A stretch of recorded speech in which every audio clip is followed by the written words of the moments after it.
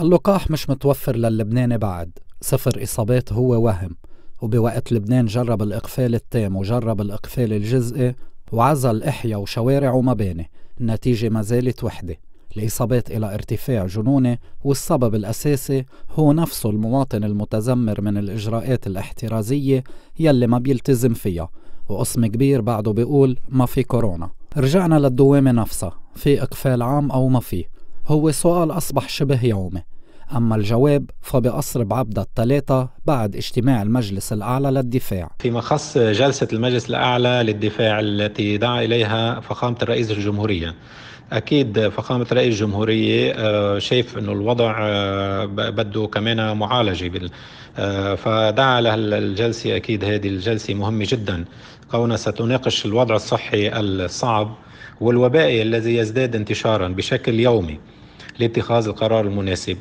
وخلينا ننتظر الثلاثة ونشوف القرار المناسب اللي هل يتخذ وبالتأكيد رح يكون آه، القرار لتحسين الاستعداد الطبي وحماية صحة الناس ولقمة عيشهم حالة التخبط والإرباك حول موضوع الإقفال التام واضحة فحتى القطاع الصحي منقسم بين مؤيد ومعارض للخطوة لما ما قدروا يطبقوا الإجراءات وما الناس التزمت ووصلت هالمرحلة هيدي طيب شو بتعمل يعني؟ هل تترك القطاع الصحي ينهار؟ إذا انهار القطاع الصحي انهار الاقتصاد. فعشان هيك نحن عم نطالب الإقفال الكلي إقفال تام مشان نقدر نعمل الشغلات هيدي اللي هي أسرة الكورونا ونزيدهم ونريح القطاع الطبي. وكمان يكون بنفس الوقت في خطة اجتماعية لمساعدة الناس اللي مش قادرين.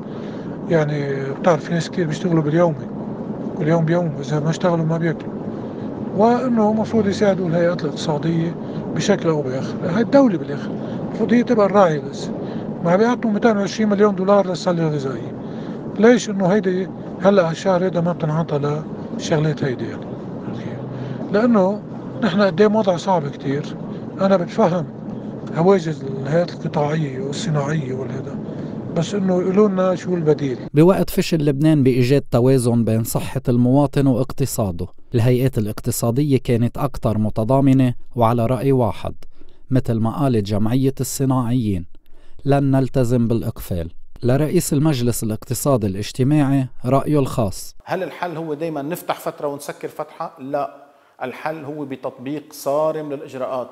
الكمامة من عتبة البيت لعتبة البيت. مش مناطق بتلتزم ومناطق ما بتلتزم. الدول اللي أخذت إجراءات بالإقفال التام lockdown قامت بتحفيز القطاعات. ساعدت المياومين المؤسسات الصغيرة قدمت مساعدات مباشرة فورية. نحن ما قادرين. طب شو بنعمل؟ لا بنحكي.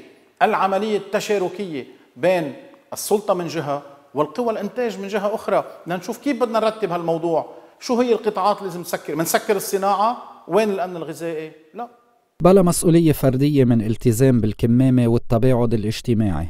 لا إقفال تام ولا جزئي رح ينفع. فهل رح يكون القرار بكرة هو اتخاذ تدابير صارمة بحق المستهترين بالسلامة العامة؟